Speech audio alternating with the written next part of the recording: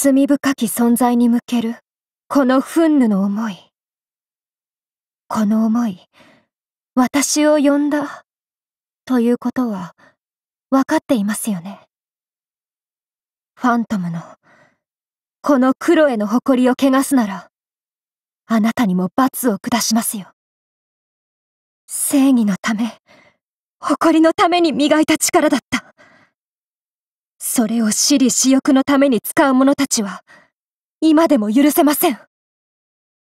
私に憤りを抱かせる者を、罰として排除する。そのためにも、剣の腕を鈍らせたくありません。鍛錬の邪魔をするというのなら、直ちに去りなさい。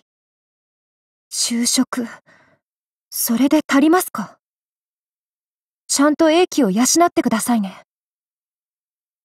ファントムが戦う中、倒れて戦線離脱なんて。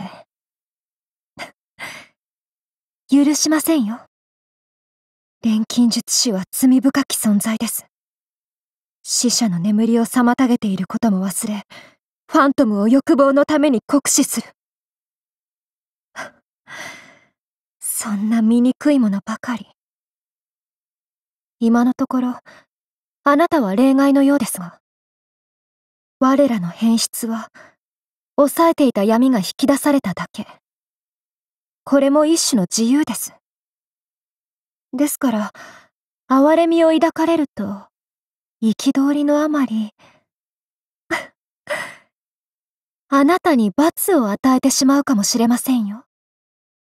ファントムになるまでは、錬金術に頼らず国を守るため、鍛錬に励んでいました。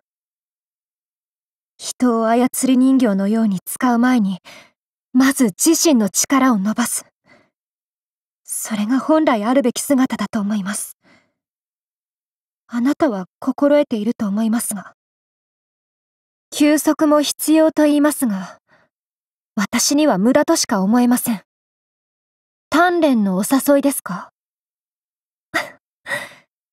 一切手加減しませんので、覚悟してください。憤怒の念が募り、あなたを襲うかもしれない。それでも、私のそばにいるなんて。あなたを罰することはしないと、私を信頼しているということですかあなたは、ファントムたる我らを利用せず、共に歩もうとするのですね。憤怒を感じる隙のない、曇りなき正義。まるで、かつての私のよう。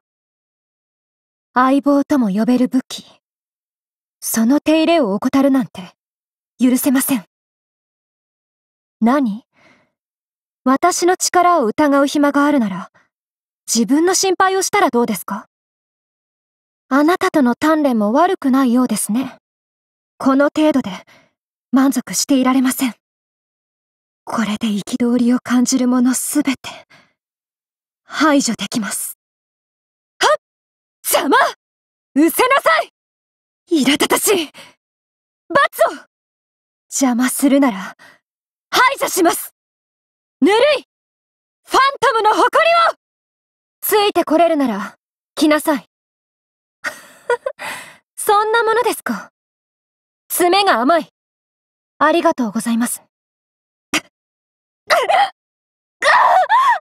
この私が負けるなど。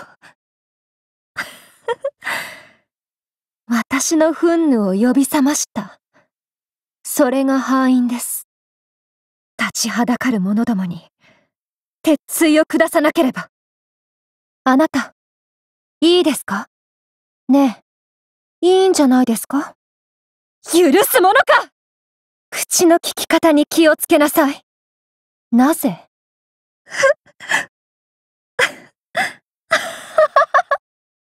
面白いですね。え？オンに来ます。悪かったですね。へえ？て照れてなんかいませんよ。そ、うですか。ありがとうございます。